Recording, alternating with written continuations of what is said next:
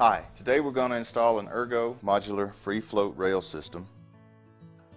The parts included in your rail system is the rail, barrel nut, eight mounting screws, and barrel nut shims. You will also need an upper receiver, barrel, gas block and gas tube, and muzzle device to complete the installation for your AR-15. These are the tools you'll need to install your Ergo rail system. You'll need an upper receiver vise block, a T15 Torx bit, a GI barrel nut wrench and torque wrench, a barrel nut alignment pin, and your favorite grease or anti-seize compound.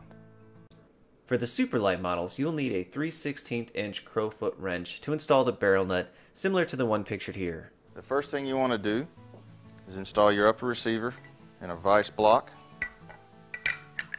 in your vise.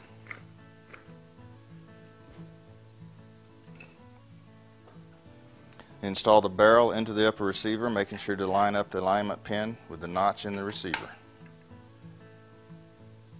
Put just a little bit of grease or anti-seize compound on the threads.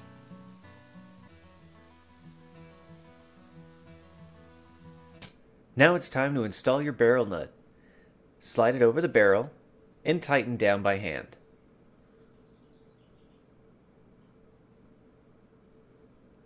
Then use your crowfoot wrench and tighten to 30 to 50 foot-pounds of torque.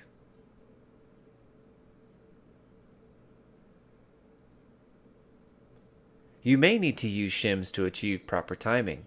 To check your timing, make sure that the notch on the barrel nut is lined up flush with the center of the receiver.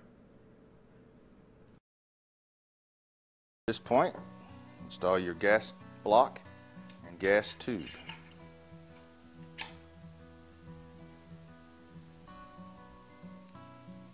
Tighten your gas block screws.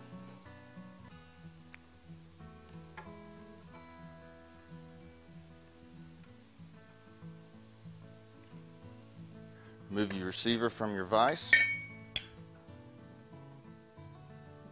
Install your free float rail system and start the attaching screws. You want to start each one before you tighten down any.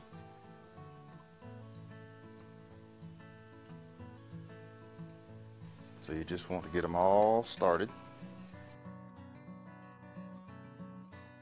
It's very lightweight very ergonomic. It allows you to attach different accessories such as vertical foregrips, bipod attachments, wedge lock slot cover grips, and the KeyMod hand stop barricade stop. Once you get all eight screws started, you can tighten them all down.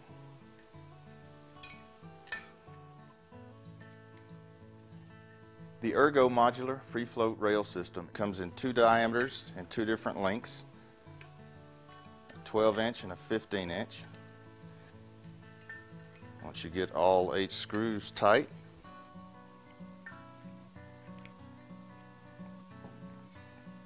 place your upper back into a vise block in, in the vise.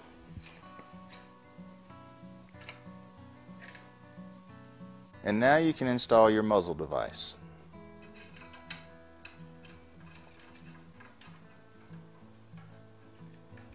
And now you can tighten it down with this slot in your barrel nut wrench.